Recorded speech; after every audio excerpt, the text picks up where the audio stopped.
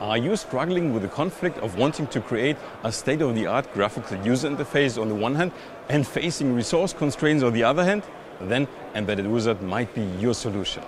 And thanks to ST Microelectronics' huge variety of both microcontrollers as well as microprocessors and our solutions versatility, customers across different domains can easily develop high performance GUIs.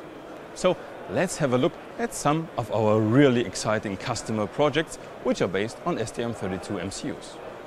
Our GUI framework is very scalable and could also be used for an entire product range. Just think from less to full featured appliances.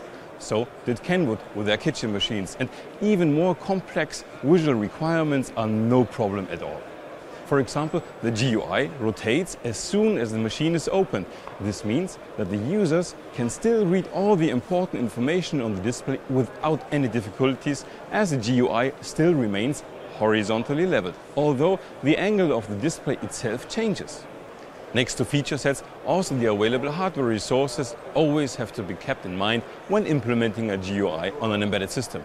And this is not only the case for Bryton's cycling computer, but with our solution, Bryton's engineers can rely on a tool that takes care about a minimum memory footprint and CPU utilization while still keeping a high frame rate, which is key when it comes to battery powered devices.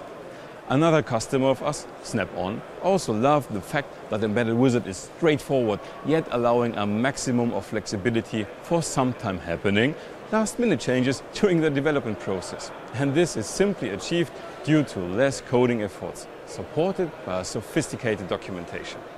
ST Microelectronics and Embedded Wizard are the perfect fit for your GUI project on a lean system.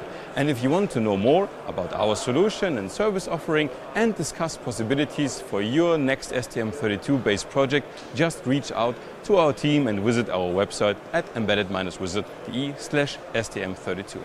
Have a great day and talk soon.